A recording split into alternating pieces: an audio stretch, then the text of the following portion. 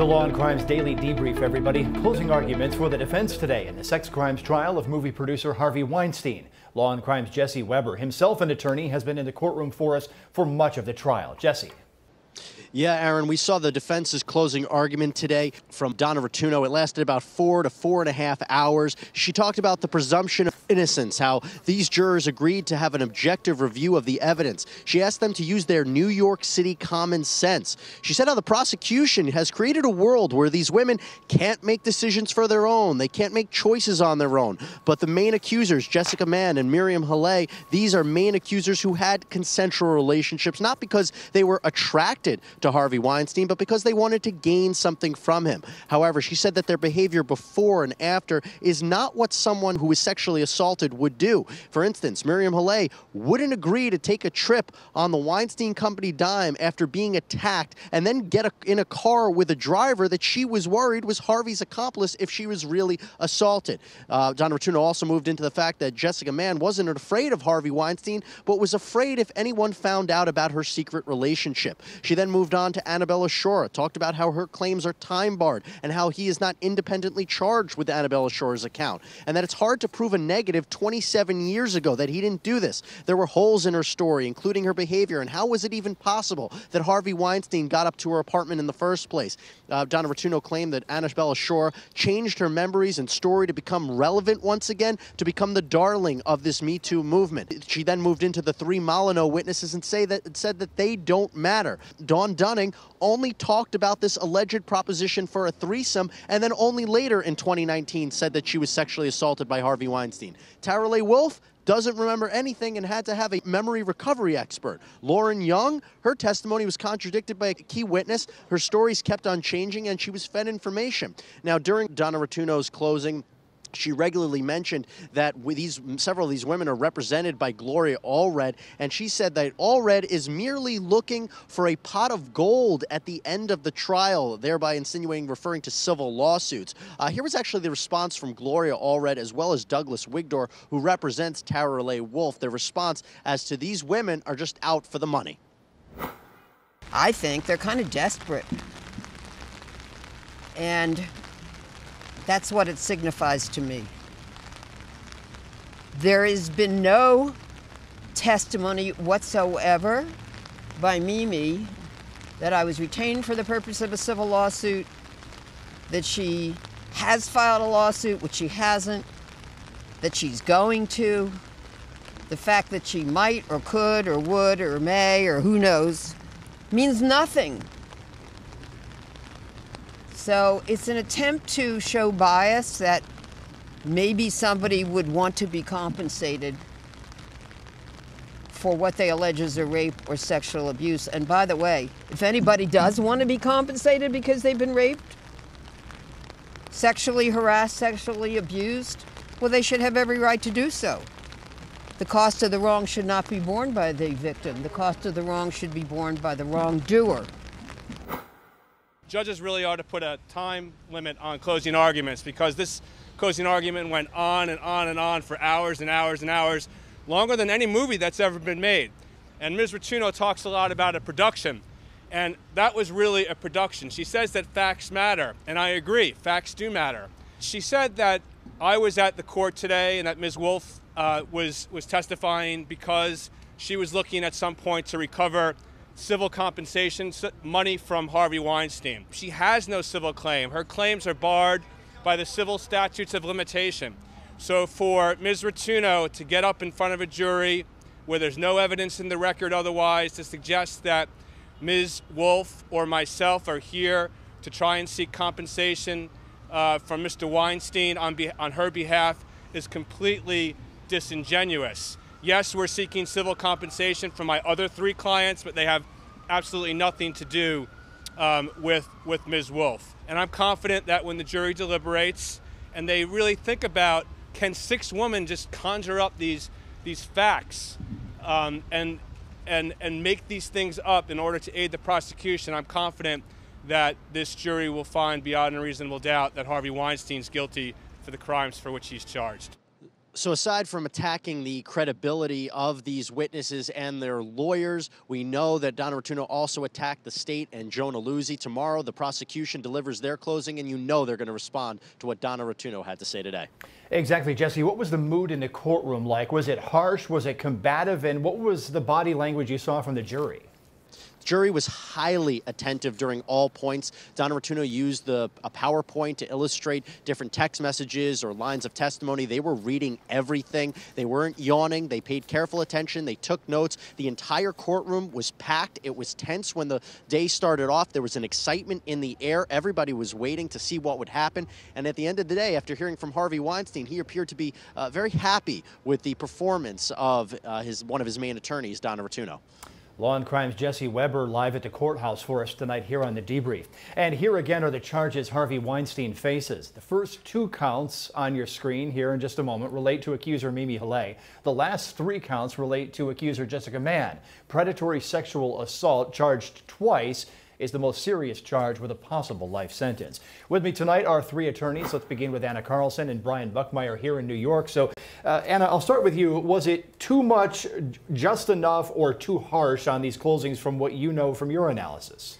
So I don't think it was too harsh at all. I thought it was a powerful closing argument. I think she had a lot of ground to cover. I think she covered it in an interesting way that will really stick with the jury. I really liked her references to um, comparing these incidents to a, someone alleging to have been kidnapped, then calling her kidnapper and talking about going on a vacation with them.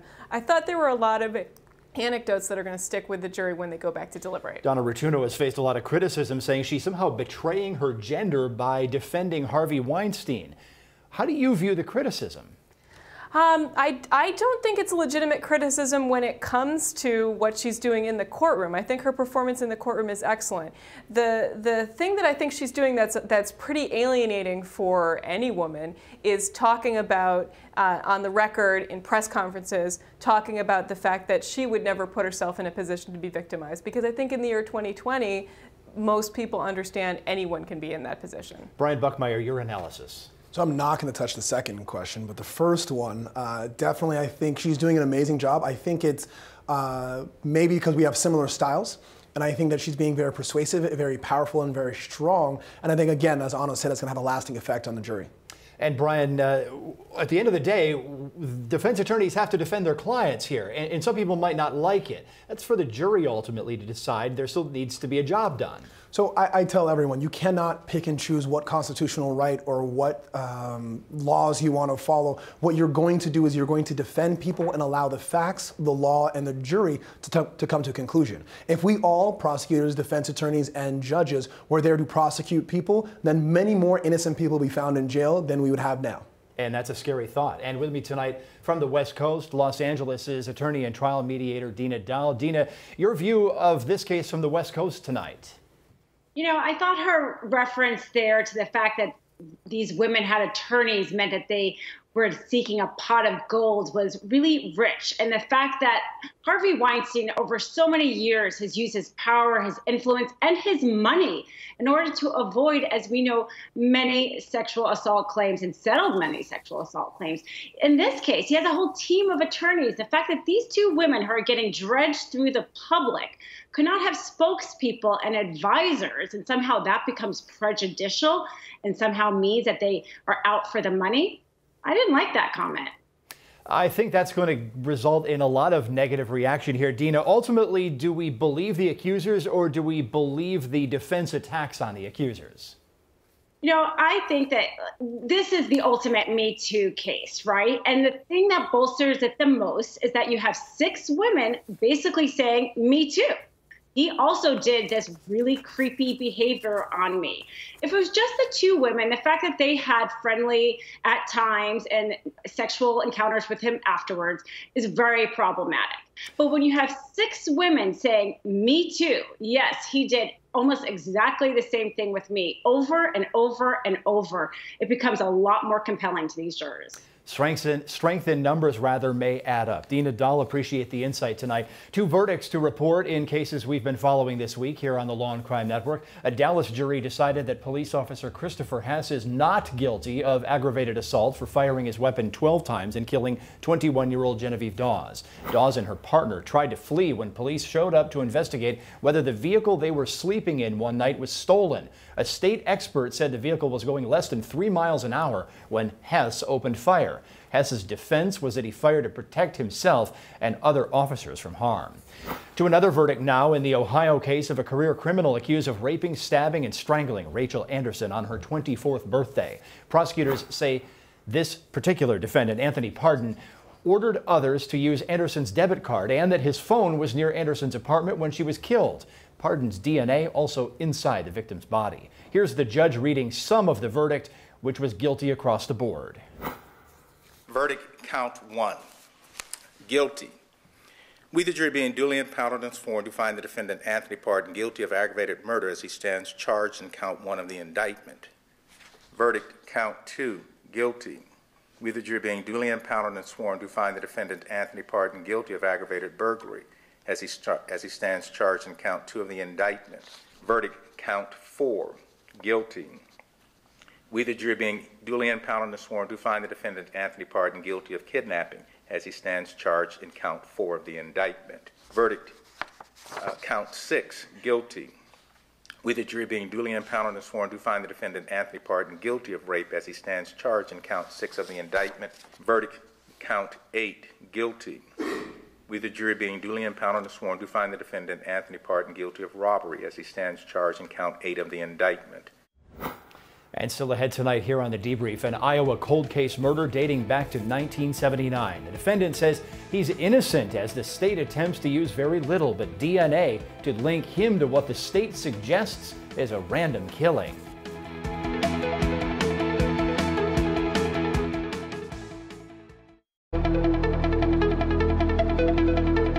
To Iowa now for day two of testimony in a cold case murder. Prosecutors in Cedar Rapids say Jerry Burns, now 66 years old, murdered then 18 year old Michelle Martinko back when Burns was 25.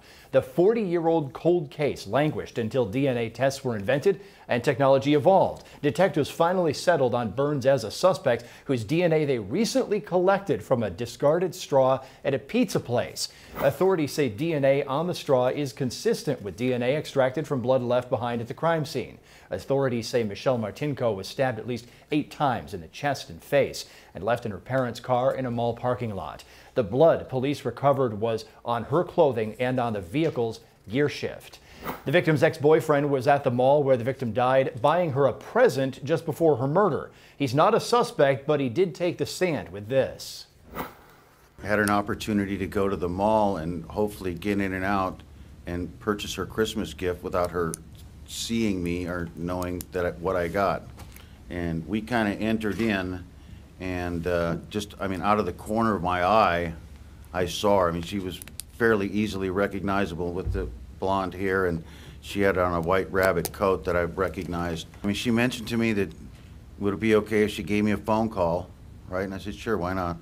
Okay. Um, but th there was nothing that, that triggered any alarm bells in my mind in terms of her behavior or state of mind at the time. After you went home for the night, did you um, did you have any contact with uh, Michelle's parents later that night that you recall? Yeah, at some point in the evening, uh, Michelle's mom called, uh, called my parents' home and uh, wanted to know if I had heard anything from her. And that's why I said, no, I, I hadn't heard anything. And this had now kind of exceeded that threshold timeline and when she said she was going to call, but. Mm-hmm. I mean, she didn't going to call, she wasn't going to call. It did, I, I had no concern at that point until her mom called me that ex-boyfriend made a previous statement that someone had been watching the victim at work. The defense asked about that on cross-examination. Yes, as a matter of fact, she did. She mentioned that there was someone that had been watching her out there. Did she describe the person? She said, yes, it was, the guy was Excuse grotesque. me. The objection will be overruled. You can proceed. She said what? Uh, the guy was grotesquely ugly. And uh, did she seem intensely bothered by this? She did seem intensely bothered during that week because she was quiet, really quiet, and did not have a whole lot to say to me during the week before her death. And she reported this concern to you about four days before she died? That's what the document says. That's what you said, right? Yes. And in the uh, four days leading up to when you saw her at the Westdale Mall the day of her, her death, was she quiet during that week? We didn't spend a lot of time together, so that's very difficult for me to to say one way or the other. Another one of the victim's ex-boyfriends was asked about his whereabouts when the murder occurred. Michelle Martinko dated this man when she was a junior, but broke up with him when he left for college. Yeah, I had classes that day, and then uh, although this wasn't uh, always the case, I do remember I was doing homework uh, in the early part of the evening, and then um, you know, it was almost midterms, and so there were probably assignments that were due for the middle of that um, semester. And um, later, I was uh, hanging out with my roommate and some other friends from our dorm floor, listening to music and just hanging out. Did you talk to law enforcement at some point in time around then? Yes, I, as, you know, um, I can't remember if it was the very next day, but I was getting ready to go back to Cedar Rapids for Christmas. And so as I could, I got my stuff packed up, went back to my folks's, and um, the next day then we went down to the police station and I just said, you're probably going to want to talk to me because I was her boyfriend. Through our conversations, were you informed that there was a hair that was found in the vehicle that was traced to you? Well, I didn't know until very recently, but yes, I do know that that's the case. And does that surprise you at all? It doesn't surprise me at all. The defense wanted to know a lot more about why that ex-boyfriend's hair was in the victim's car. Had you been in her car, of course, the, uh, the, the boat Buick? Yes, many times. And um, had you, on those occasions, driven the car yourself, or was Michelle Martinko driving the car? Mm, I don't ever remember driving it.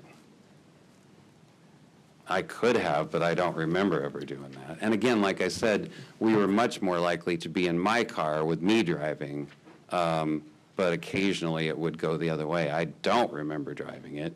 You were interviewed about this investigation back in 1981, and, and as I read the interview, you described her as a terrible driver. really bad. That could be true. It's been 40 years. There's a lot of time to forget a lot of things. Okay. So would you acknowledge uh, that at least back then you characterized her as a really bad or terrible driver? Okay, yeah, I mean, if I said that, I'm sure I meant it back then. I just don't remember. Okay. Things weren't always peaches and cream between the two of you, were they? No. I mean, there was conflicts about other men, who she was seeing, created some confrontations between you and her. Yes. An officer found the victim's vehicle in a shopping mall parking lot at 4 o'clock in the morning. That officer radioed to headquarters, saw the driver's side rear door was unlocked, and opened it. Well, she was slouched down. Uh, it appeared that there were several stab wounds on her chest. And uh, I remember seeing a laceration on her chin and she was, there were no signs of life. She was obviously dead. Uh, her dress was pulled up. She appeared to be fully clothed, but her dress was pulled up. Did you notice any body damage to the to the car? No, I don't remember that. Or any uh, scuff marks or or scratches on the body of the car? No, I don't remember that. And I didn't make any notes to those to that effect in my report. Crime scene investigators were called to examine that car. It's steering wheel in with shift lever, the fibers, there's the blood, that this subsequent wearing some sort of glove, and that pattern from the glove would have been where I would normally look for fingerprints. Later in the day, I went to the store, purchased a pair of rubber gloves that had the similar pattern, took that back to the station, inked it like it was a fingerprint. It matched These were rubber gloves, normal household dishwashing gloves. Well, it's showing the pattern that I found on the interior of the car. And this would have been uh, an impression of the glove that, that you made? Right. It was appear that the vehicle was driven. The driver's door, the handle of the outside, had the same pattern, not in blood, but in dust that was on the surface of the door handle. Do you believe that the person who murdered Michelle Martinko was wearing the gloves when it occurred? Yes. Let's turn to our panel once again right now. Dina Doll, it's difficult for the state to try to prove a case basically based on DNA and almost only DNA linking this defendant to the killing. Yeah, exactly. And the fact that they found his DNA from an abandoned straw shows the legal takeaway from this case is how antiquated our privacy and even maybe our search warrant laws are in today's technology. You know, the police said that there was they were able to narrow it down to a small pool of people. My question is, how many other people did they covertly take their DNA before they found a match with Burns? They don't say. Not many because they were narrowing it down based on known relatives and then they focused on this guy. But look, they can collect your DNA if you throw something away. That's the law in this country. Anna Carlson, what's your assessment of the testimony of the ex boyfriends? I think it was really rich with uh, some detail that the defense is going to exploit. I, uh, my notes here, they talked about uh, hair being shed in the car. I think that is a little preview of an argument we'll see later that if blood was found in the car, that's a match to Jerry Burns that it could have been shed at some other time. We heard from another ex boyfriend that they had been arguing about the victim seeing other men. I think we may see an argument from the defense that maybe Mr. Burns was one of those other men and his blood came into the car at some other time. Wow, that, would be a pretty harsh uh, set of information because my understanding, Brian Buckmire, is there's really nothing that links this defendant to this particular victim here. Yeah, it's going to be interesting to see how they play this out. I think a, a, good tagline for this is that the mere presence of DNA inside the car does not make one a murderer or a rapist. Exhibit A, Michael Warrick. I think piggybacking off of that theme and trying to pull apart any motive or connection between the two is going to be the defense's strongest argument. I think that's probably where they're going to go with this. I agree with that assessment. Appreciate the insight from the panel tonight here on the debrief. Of course, remember, we'll be back here tomorrow with live coverage of the Harvey Weinstein closing arguments from the courthouse in lower Manhattan. It's the state's turn tomorrow, and we will be there.